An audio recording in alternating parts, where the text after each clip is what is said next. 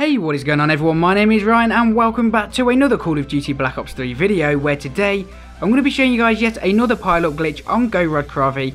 So for this glitch what you want to do is come to this location I do in the video, you want to run and do a little strafe jump onto this sort of rock and basically you'll know if you've done this glitch correctly because what will happen is you'll feel your guy literally lift from the ground. So as you can see my guy is literally pretty much higher than the average time you're playing so you'll know if you've done this glitch correctly.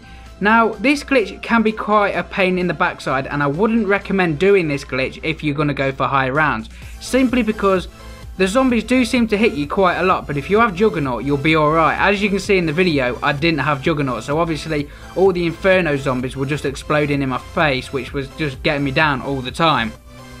But if you have Juggernaut, you should actually be fine.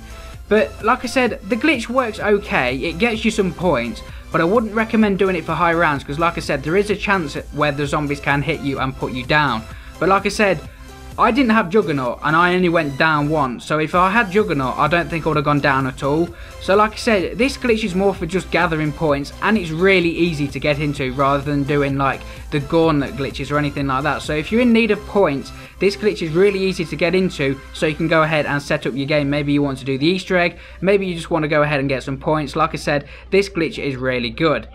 So all that happens is the zombies will actually pile up underneath you and if you essentially wanted to make this a team glitch, the friends could stand in the tunnel which is just to the left of me where I actually ran into and obviously if the doors are closed towards double tap, the zombies will actually only spawn in front of them so essentially they could just shoot all of them as well. So again, like I said, it's a good team glitch. Everyone's getting points and basically you're more or less invincible. The only things I would recommend watching out for when in this glitch is the wardens or whatever you want to call them, the things that shoot pulses at you. The only reason because that pulse can actually move you, so if it hits you it's going to push you off the glitch. Now the good thing about this glitch is it's not too difficult to get into, so for whatever reason you do fall off, it's easy to go ahead and get back into. But nevertheless, just avoid them. If you've got the shield or if you see them coming, just try and kill them as fast as possible.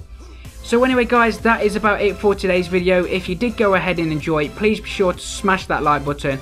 And also guys, thank you on 1,000 subscribers. You guys have been crazy on my channel recently, so you'll be seeing some awesome content coming very, very soon. So anyway guys, thank you for watching today's video. Don't forget to give it a thumbs up, subscribe if you are new, and as always, I'll see you in the next one.